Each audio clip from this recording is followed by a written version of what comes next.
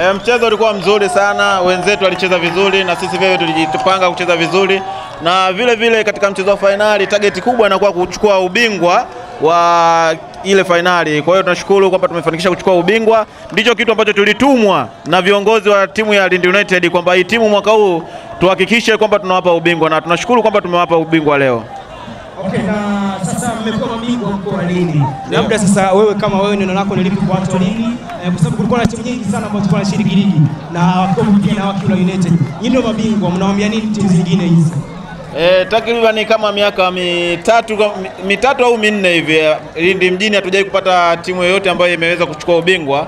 Kwa hiyo mwaka huu 2019 2019 2020 tumepata ubingwa huu. Kwa hiyo nachowaomba na, na wananchi wote wa mkoa wa Lindi hususan na pale na hawa washabiki wote wa manispaa ya Lindi tuungane kwa pamoja, tuisapoti timu ili tunavyoenda kushiriki haya mashindano tufanye vizuri ili tuweze kuinua mchezo katika mkoa wetu wa Lindi. Uh, kimsingi kama ulivyoona kwamba game ilianza kwa upande wetu haikuwa mzuri sana dakika za mwanzoni kipindi cha kwanza, lakini kadri muda ulivyokuwa unazidi kwenda wachezaji waliweza kuwa impressed, walichaji wakaanza kuonyesha kile ambacho nilikuwa nimewatrain mpaka tunaenda half time. Uliona kwamba game ilikuwa sio mbaya sana, lakini Mungu alisaidia. Tulivyoingia kipindi cha pili, dakika za mwanzoni tuliweza ku level uwanja, lakini unfortunately ulivyoona, kwa maana kwamba dakika za, mwizo, za mwishoni sikutegemea kwa maana kwamba ndani ya fainali halafu mwamuzi anatoa penalty hizi kama ile pale, lakini all on all ni football, ni sehemu ya mchezo.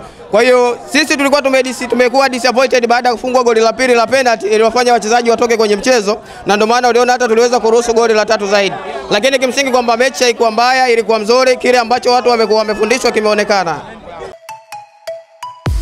Subscribe kwa kubonyeza kitufe chekundu chini ya video hii na kisha bonyeza alama ya kengele ili uwe wa kwanza kupata kila kinachotokea muda wowote hapa hapa Mashujaa TV.